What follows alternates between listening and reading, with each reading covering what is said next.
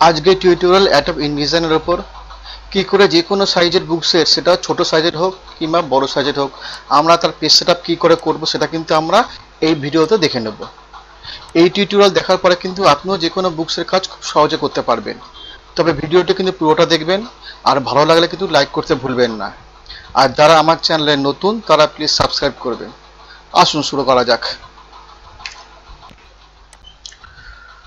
প্রথমে শুরুতে আমরা কিছুটা জেনে নিই, যেমন একটা এ ফোর সাইজ তার মাপ কিন্তু দুশো দশ বাই দুশো সাতানব্বই মিলিমিটার আর আমরা যে বইটা তৈরি করব, সেটার মাপ হচ্ছে একশো দশ বাই একশো পঁচাশি মিলিমিটার বা এগারো সিএম বাই আঠেরো পয়েন্ট পাঁচ সিএম এই যে বইয়ের সাইজ, এটা একটা ছোটো সাইজের বই, এটা কিন্তু অনেকে ওয়ান এইট সাইজের বইও কিন্তু বলে থাকে। এবার আমরা দেখে নেব যে টু নাইনটি সেভেনের মধ্যে আমরা কীভাবে এই পেজ সেটটা তৈরি করব। আমরা প্রথমে দেখে নিই যে আমাদের বইয়ের মাপ কত ছিল না একশো দশ মিলিমিটার। তার মানে যে একটা পেজের মাপ যদি একশো দশ মিলিমিটার হয়, তাহলে দুটো পেজের মাপ কিন্তু দুশো কুড়ি মিলিমিটার। একশো দশ প্লাস একশো দশ দুশো কুড়ি মিলিমিটার। তো টু নাইনটি সেভেন মানে দুশো সাতানব্বই, তো এর এই পেজটার মধ্যে কিন্তু আমার দুটো পেজ চলে আসে। মানে একশো দশ প্লাস একশো দশ দুশো কুড়ি। টু অনেক বেশি আছে, তাহলে আমাদের দুটো পেজ কিন্তু চলে আসে যদি আমরা পেজটাকে ল্যান্ডস্কেপ করি নিই। তো যখন আমরা পেজ সেট আপ করব আমরা কি খেয়াল রাখব?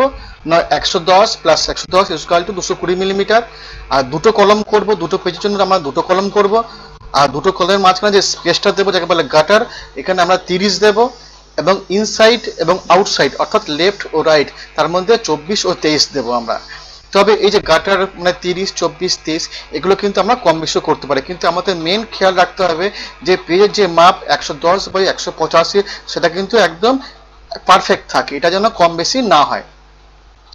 তো এখানে আমরা দেখে দেবো যে একশো দশ প্লাস একশো দশ ইজুকাল দুশো কুড়ি, গাটারে দেবো তিরিশ মানে দুশো পঞ্চাশ, আর চব্বিশ আর তেইশ মানে সাতচল্লিশ মানে দুশো সাতানব্বই পুরোপুরি কমপ্লিট হয়ে গেল। ঠিক যেমন আমরা টপ বটমে আমরা কীভাবে দেবো? টপ বটমে তো কোনো কলমস নেই। সেজন্য আমরা ডাইরেক্ট দুশো দশ, যেহেতু আমাদের পেজের মাপ হচ্ছে একশো পঁচাশি মিলিমিটার তো দুশো দশ মাইনাস একশো পঁচাশি মনে হচ্ছে পঁচিশ রইল। তা পঁচিশটাকে আমরা বারো পয়েন্ট পাঁচ করে ভাগ করে দিয়ে দেবো। এই হচ্ছে আমাদের একটা অঙ্কের হিসাব। এবার আমরা প্র্যাকটিক্যালে চলে যাব। আপনারা দেখতে থাকুন। তো প্রথমে আমরা চলে যাব ফাইল নিউ ডকুমেন্ট এখানে আমরা লেটার সাইজটাকে আমরা এ ফোর করে দেব। যদি ফেসিং পেজ অন থাকে, এটাকে অফ করে দেবেন আর ল্যান্ডস্কেপে ক্লিক করে দেবেন। তো যখন আমরা ল্যান্ডস্কেপে ক্লিক করব, তখন কিন্তু পেজটাকে টু হয়ে যাবে। এর উইথ না চওড়া টু হয়ে যাবে। আর এর মধ্যে কিন্তু দুটো পেজ আমরা সেট করব। তো যেমন আমরা ক্যালকুলেশন করেছিলাম, তেমনই আমরা করব। যেমন টপ বটম টপ বটমে আমরা দিয়েছিলাম টুয়েলভ পয়েন্ট ফাইভ এই যে এই যে সাইনটা আছে, এটাকে কিন্তু আপনারা সবসময় অফ রাখবেন। নাহলে কিন্তু চেঞ্জ হবে না। তো এটাকে আমরা অফ করে দিলাম। এটা অন থাকলে যদি মনে করেন যে দু জায়গায় বারো পয়েন্ট পাঁচ হবে, তাহলে কিন্তু এটা অন থাকবে। ওপরে যদি দশ দেন, তাহলে কিন্তু তলায় দশ হবে। ওপরে পনেরো দিলে তলায় পনেরো হবে। তো এখানে এদিকের ক্ষেত্রে কিন্তু আমাদের কোনো অসুবিধা হবে না। যেহেতু আমরা এদিকে তেইশ এবং চব্বিশ দেবো, সেই জন্য কিন্তু অসুবিধা হবে। তো এটাকে অফ রাখাই ভালো। এখানে আমরা তেইশ টোয়েন্টি ফোর এখানে আমরা দুটো কলম করে নেব আর গাটারে আমরা দেব থার্টি যেটা আমরা হিসাব করেছিলাম। তো কলমসে দুটো কলম আমরা দেব। দুটো কলম যেহেতু একশো দশ প্লাস একশো দশ, ওই জন্য দুটো কলের মাঝখানে যে স্পেস সেটাকে আমরা তিরিশ দেবো, যাকে বলে গাটার টপে দেবো বারো পয়েন্ট পাঁচ এবং বটমে দেবো বারো পয়েন্ট পাঁচ। আর লেফট সাইডে আমরা মার্জিন দেবো স্পেস দেবো তেইশ এবং রাইটে দেবো চব্বিশ।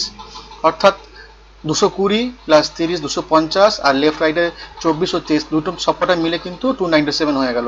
ঠিক তেমনি দুশো দশ minus one eighty five twenty five রইল। টোয়েন্টি ফাইভকে আমরা দুটো জায়গায় ডিভাইড করে আমরা দিয়ে দিয়েছি বারো পয়েন্ট পাঁচ করে। এবার কিন্তু এটাকে আমরা ওকে করে দেব।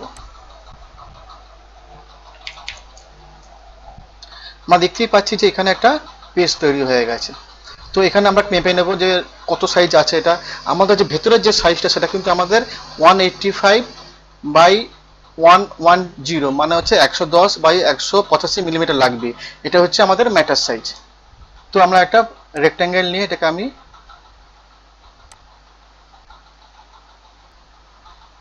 দেখুন, এটাকে পুরোপুরি কিন্তু একশো দশ বাই একশো পঁচাশি মিলিমিটার আছে। ঠিক তেমনি ডান দিকেও আমরা একটা তৈরি করলাম। এটাও কিন্তু একশো দশ বাই একশো পঁচাশি মিলিমিটার আছে। এর এর মাঝখানে কিন্তু তিরিশ আছে, আর লেফট সাইডে আছে চব্বিশ, ডান সাইডে আছে তেইশ। টপে আছে বারো পয়েন্ট পাঁচ, আর বটমে আছে বারো পয়েন্ট পাঁচ। তবে মনে রাখবেন, এই যে এই যে মেজারমেন্ট করে একটা পেজ সেটআপ তৈরি করে, এটা কিন্তু সবসময় আপনারা মাস্টার পেজে করবেন। মাস্টার পেজে করলে কিন্তু সবকটা পেজে কিন্তু এই জিনিসটাই কিন্তু শো করবে। অর্থাৎ একশো দশ একশো দশ, এই যে পেজে যে সেট এটা কিন্তু প্রত্যেকটা পেজে কিন্তু আপনার শো করবে।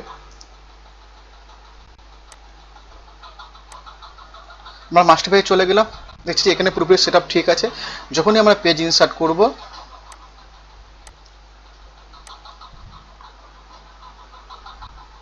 ইনসার্ট পেজ ধরুন আমি দশখানা পেজ এখানে আমি ইনসার্ট করছি।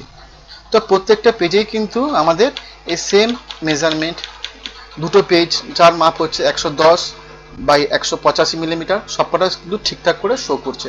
শুধু এর মাঝখানে কিন্তু আমাদের টাইপ করতে হবে। আর একটা কথা আপনাদের আমি বলব, যে আমরা প্রথমে আবার মাস্টার পেয়ে চলে যাব। চলে গিয়ে দেখবেন যে ঠিক এই ঠিক এই কর্নারে একটা ডটেড লাইন আছে, একে বলা হচ্ছে জিরো লক বলা হয়, একে জিরো লক বলা হয়। তো এটাকে টেনে এনে আমরা ঠিক নিচের এই যে গাইডলাইন্সটা আছে বটমের যে পেজের গাইডলাইন্স আছে, এখানে আমরা ছেড়ে দেব। আর রুলার্স থেকে একটা রুলার্স নিয়ে এসে ঠিক সাত মিলিমিটার আমরা ছাড়বো। অর্থাৎ যখন আমরা টাইপ করব, তখন কিন্তু এই গাইডলাইন্স অবধি কিন্তু আসবে। তার মানে তার নিচে কিন্তু আমাদের পেজ নাম্বার থাকবে। যেহেতু আমাদের পেপার সাইজ পেপার সাইজ আর ম্যাটার পেপার সাইজ আর ম্যাটার সাইজ দুটো কিন্তু আলাদা। আমাদের ম্যাটার সাইজ হচ্ছে কিন্তু ওয়ান এইটি ফাইভ এটা কিন্তু পেপার সাইজ নয়। পেপার কিন্তু এর থেকে বড় হয়। তো আমাদের ম্যাটার কিন্তু কোনো মতেই ওয়ান এইটি ফাইভ ক্রস করবে না। অর্থাৎ তার পুরো ওয়ান এইটি ফাইভে কিন্তু থেমে যাবে। সেজন্য আমরা এখানে একটা সাত মিলিমিটার একটা গাইড ফেললাম এবং নিচের গাইডলাইন দিয়ে, অর্থাৎ আপনাকে একটু বড় করে দেখাচ্ছি, এই নিচের গাইডলাইন দিয়ে কিন্তু পেজ নাম্বার বসবে। যেমন,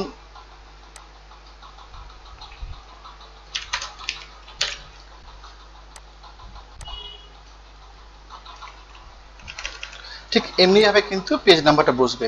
আর আমাদের ম্যাটার কিন্তু এই যে গ্রিন যে দাগটা আছে, এখানে এসে কিন্তু শেষ হয়ে যাবে।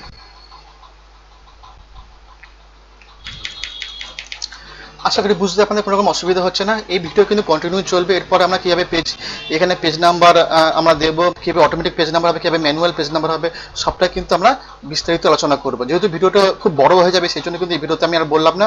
পরের ভিডিওতে কিন্তু এই ব্যাপারে আমরা অনেক আলোচনা করব। যদি ভালো লাগে তাহলে কিন্তু অবশ্যই লাইক দেবেন। আর যারা নতুন তারা কিন্তু সাবস্ক্রাইব করবেন। Thank you